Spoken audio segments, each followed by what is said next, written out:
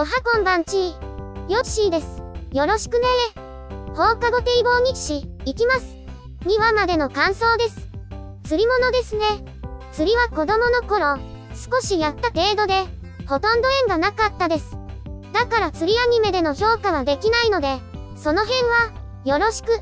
それに、地元は全く海に接してないところでしたから、ま、川ぐらいはあったけど。てか、放水路でしたけど。でも最近は、川も少なくなりましたね。地下に埋まっちゃってるみたいな。それは、置いといて。ひなには、自身の投影感があ運動苦手だし、のほほんとしてるし、何気に見てしまいます。作画も、丁寧に描かれていますし、絵心のない僕にも、なんか、いいなと感じてしまいます。こういった癒し系なアニメって、好きだなしかし、一つ気になったのは、ここって、矢印。最初遠いのを表すのはいいけど、なぜに海に着いたところにも、でっかくあるんだ。笑えた。ギャグあり、笑いあり、釣りネタあり、家族あり。いろんな人に、見てもらいたいアニメですね。2020年春アニメ、延期が多い中でも注目すべきアニメです。コロナに負けずに、一緒に応援していきましょう。次は、不合刑事、いきます。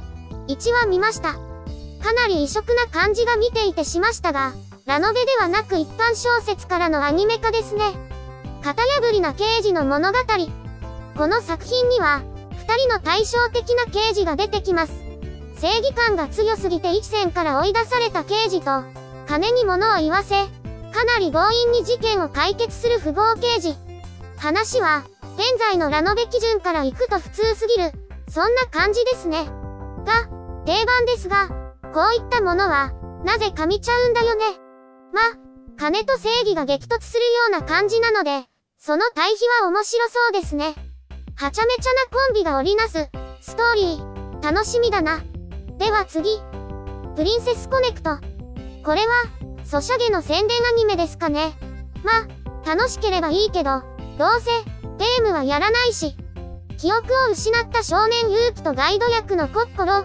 二人の旅の話ですね。後に、ギルドを組む、ペコリ犬といい、面白いメンバーだな。特に気になるのは食事シーン。エンディングでは、描き込みされてるので、本編でも、描かれると思うので頑張ってほしい。食べ歩きのギルドって作るんだから、この辺は、期待してます。社長、バトルの時間です。行きます。引き続きソシャゲからのアニメ化ですね。最近、流行ってるの？まあ、専用ハードのゲームは、やるけど、スマホゲームは興味ないからいいけど、最初見ての印象、何これ、女みたいな男ばっか出てくる。こんなのが、最近流行りなのか？ストーリー的には、親の母を継いで、幼馴染と一緒に社長になった話です。社員は全員女。業務は冒険。絵空ごとな感じもしなくはないけど。ま、そういうアニメだから仕方ないか。女の子たちをめでるだけって感じなんだけど。ま、いいか。では、ブレイクニル。最後になりますね。いろいろ問題作ですね。まあ、いわば変態要素充満って感じ。女の子が、着ぐるみには行って戦うなんて、変態すぎ。その行為自体は、なんてことないけど、まあ、実際アニメ見てきてください。では、またねあ、そうそう。よかったらチャンネル登録お願いしますね。